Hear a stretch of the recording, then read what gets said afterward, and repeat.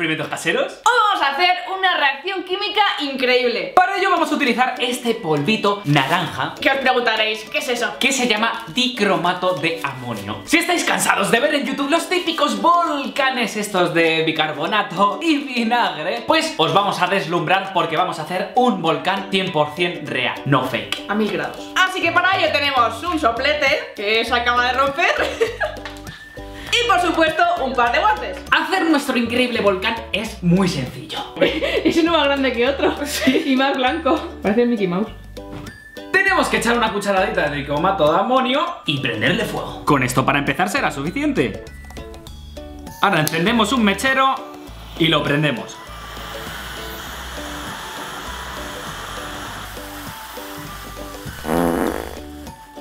Un poco caca, ¿no?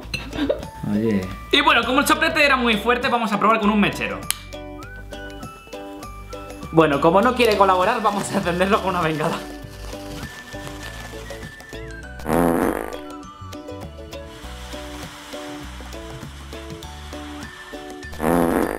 Bueno, a la tercera va la vencida. Hemos agarrado otra bengala y la metemos al fondo del asunto. Ahora sí, el volcán ya está activado.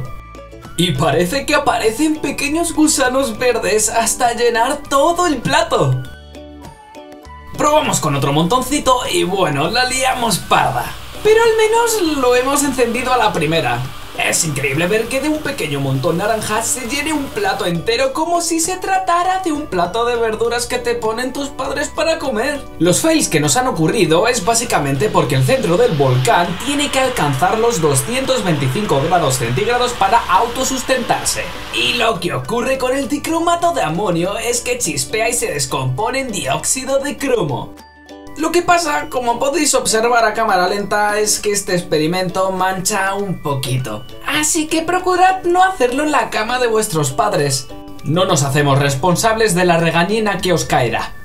Así que si te ha gustado el vídeo y te hace tanta gracia como a nosotros recoger todo este desastre, dale un buen like. Por supuesto, pásate por este vídeo si quieres ver a Natalia convertirse en la youtuber más famosa. Y no olvides suscribirte.